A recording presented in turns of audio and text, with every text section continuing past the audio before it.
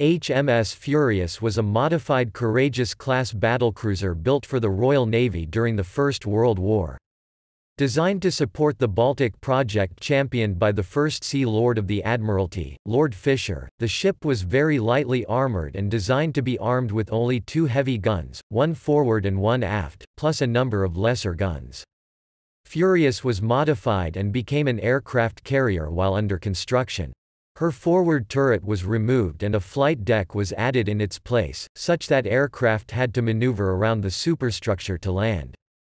Later in the war, the ship had her rear turret removed and a second flight deck installed aft of the superstructure, but this was less than satisfactory due to air turbulence.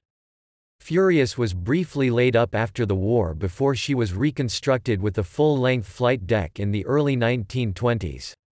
After her conversion, Furious was used extensively for trials of naval aircraft and later as a training carrier once the new armored carriers like Ark Royal entered service in the late 1930s. During the early months of the Second World War the carrier spent her time hunting for German raiders in the North Atlantic and escorting convoys. This changed dramatically during the Norwegian campaign in early 1940 when her aircraft provided air support to British troops ashore in addition to attacking German shipping. The first of what would be a large number of aircraft ferry missions was made by the carrier during the campaign. After the withdrawal of British troops in May, Furious made several anti-shipping strikes in Norway with little result before beginning a steady routine of ferrying aircraft for the Royal Air Force. At first Furious made several trips to West Africa, but she began to ferry aircraft to Gibraltar in 1941.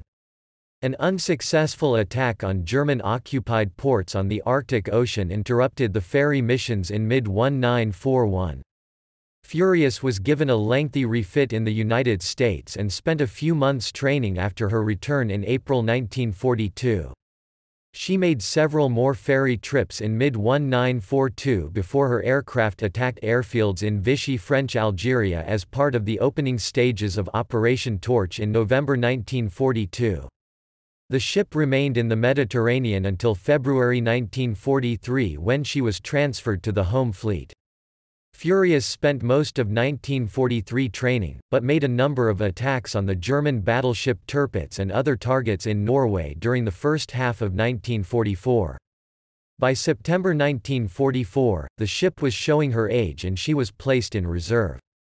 Furious was decommissioned in April 1945, but was not sold for scrap until 1948.